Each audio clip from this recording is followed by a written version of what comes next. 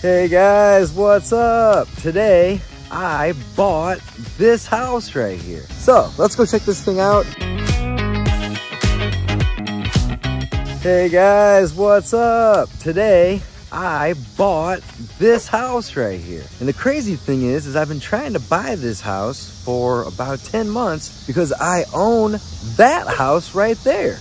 And I've owned that house right there for probably about two and a half years and I rent it out. And I've been trying to buy this one because it's just, you know, kind of run down.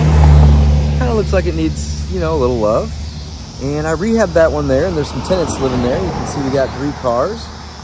I'm just so happy because I got this one today. So let's go check this thing out. This is uh, gonna be most likely a rental. However, I may try to flip this one for a quick sale. Just see what happens. Uh, but most likely keep this one as a rental as well. All right, guys, let's check it out. We got, so this is the one I already own right there. It's awesome. All right, let's check this one out. I was told, always carry these with you. When you buy a house, you're ready and prepared. So I was told that the key was in the air conditioner. Just closed on this today. So we're gonna find it. You guys are gonna experience what it's like to take possession of a property sometimes. We haven't done this already.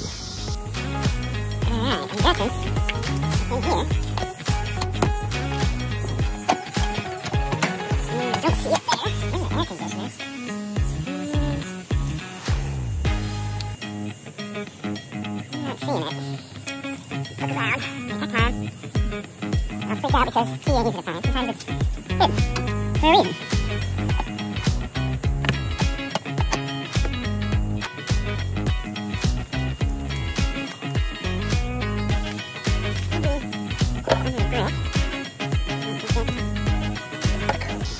There it is. See? I should have just lifted that up to begin with. But sometimes it's hidden in here or in here. Sometimes it can be hanging off a screw. You never know. Always a little different. We found it though. Got ourselves a set of keys.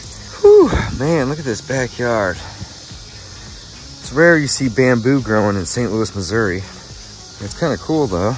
Got this whole yard full of bamboo on the fence line. It's not a very large yard, not a very large house but that's kind of cool. Probably pretty invasive. In two or three years, it's going to be half the yard, but if you keep up on it, kind of neat. It gives you a little bit of privacy. All right, should we go in this door? Let's just go to the front. Makes it easier. Let people know that we're here and that we're not breaking in it by just being obvious about the fact that we're here.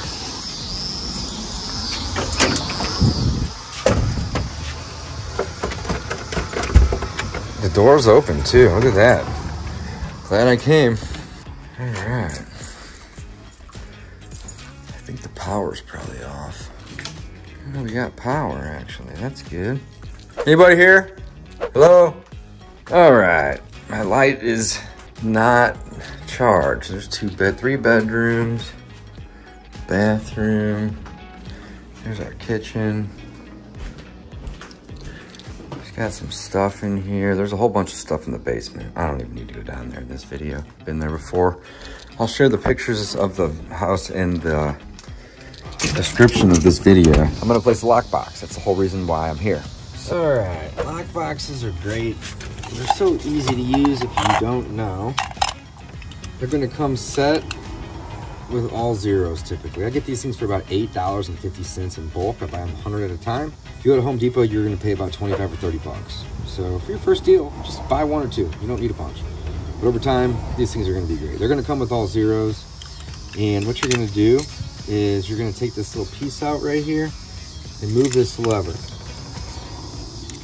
All right, and that will allow you to change the code. And if it's opposite of where it came, then you can change the code. So in this example video, we're gonna just say, you know, we want it to be one, two, three, four. And the lock box will close. It's not working with one hand, so I gotta put it on the ground. But now, with it being one, two, three, four, the lockbox will open and close. So if I move that a number, it won't. It's got to be exact. One, two, three, four. From here, I'm gonna make sure the door is locked. Sweet.